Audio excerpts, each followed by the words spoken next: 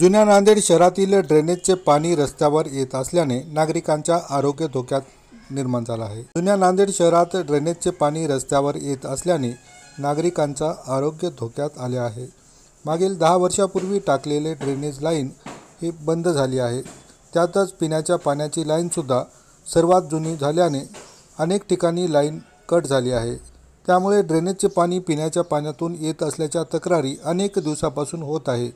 महानगरपालिका मात्र या तक्रारींकडे दुर्लक्ष करीत असल्याचा आरोप स्थानिक नागरिकांनी केला आहे. त्यातच आता रस् नवीन रस्त्याचे काम सुरू आहे. ड्रेनेजचे काम झाल्याशिवाय रस्त्याचे काम करू नका असा आग्रह स्थानिक व्यापाऱ्यांनी व नागरिकांनी केला आहे. ड्रेनेजचे रस्ता बनल्यानंतरसुद्धा पुन्हा ड्रेनेजसाठी रस्ता खोंदावा लागतो. यामुळे महानगरपालिकेचे आर्थिक नुकसान होईल यासाठी भाजपाच्या वतीने अमोल कुलथिया यांनी महानगरपालिकेकडे निवेदनाद्वारे मागणी केली. अगोदर ड्रेनेजचे काम करावे व नंतरच रस्ता करावा अशी भूमिका अमोल कुलथिया यांनी मांडली आहे. अन्यथा यापुढे अन्नत्याग करण्याचा इशारा महानगरपालिकेला दिला आहे. आज आम्ही माननीय महानगरपालिका आयुक्त साहेबांना एक निवेदन केलं आहे मागील दहा ते पंधरा वर्षापासून जुन्या नांदेड भागामध्ये विशेष करून बऱ्याच ठिकाणी ड्रेनेज लाईन आणि पाण्याचे पाईपलाईन हे डॅमेज झालेले आहेत. ज्याच्यामुळे प्रत्येक ठिकाणावर बऱ्याचदा पाणी साचून गोठून राहतो. घरात पिण्याचं जे पाणी येते ते ड्रेनेजच्या पाणी मिक्स युक्त येते. त्याच्यामुळे घरच्या लोकांना ते पाणी पिण्यासारखं नाहीच. दररोज आज जनतेला वीस रुपयाची तीस रुपयाची पाण्याची बॉटल विकत प्रत्येक घरामध्ये विकत घेऊन पाणी पिण्यासाठी वापरावं लागत आहे.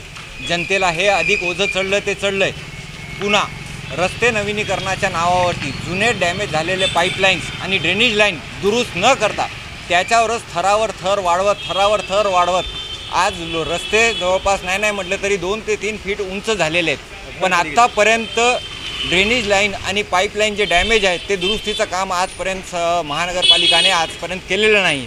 जनतेच्या पैशाची उधळपट्टी कशी करायची जर का हे जर का कोणाला बघायचं असेल आणि समजून घ्यायचं असेल तर जुन्या नांदेडच्या भागातल्या कोणत्याही प्रभागात जर का जाऊन त्यांनी विचारपूस केली की बाबा तुमच्या भागातलं ड्रेनेज लाईन आणि पाण्याचे पाईपलाईन हे सुरळीत आहेत का? तुम्हाला पिण्यासाठी चांगलं पाणी येतो का? तर जनतेचं एकच उत्तर राहील की आम्हाला गटरीचंच पाणी घरात येतो. ड्रेनेज आमचे नेहमी चौकअप असतात. कधीच काम होत नाही. आमचं आज महानगरपालिका आयुक्त साहेबांना ही विनंती आहे की जोपर्यंत हे रस्त्याचे काम म्हणजे ड्रेनेज लाईन आणि पाण्याचे पाईपलाईनचे काम जोपर्यंत पूर्ण होत नाही तोपर्यंत नवीन रस्त्याचे कामं करू नये. जर का असं जर का होत नसेल तर तेरा तारखेपासून अन्न त्यागाचा आम्ही इथं संकल्प घेत आहोत.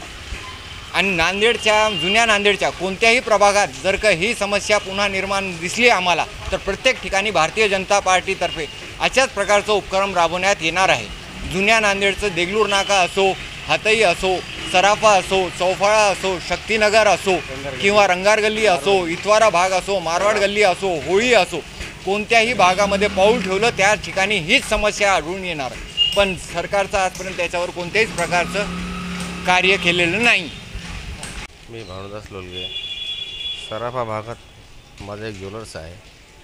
परंतु इथं कसं आहे की ग्रामीण भागातून येणारे जे ग्राहक आहेत त्यांना आज इतका त्रास होत आहे की रस्ते बरोबर नाहीत.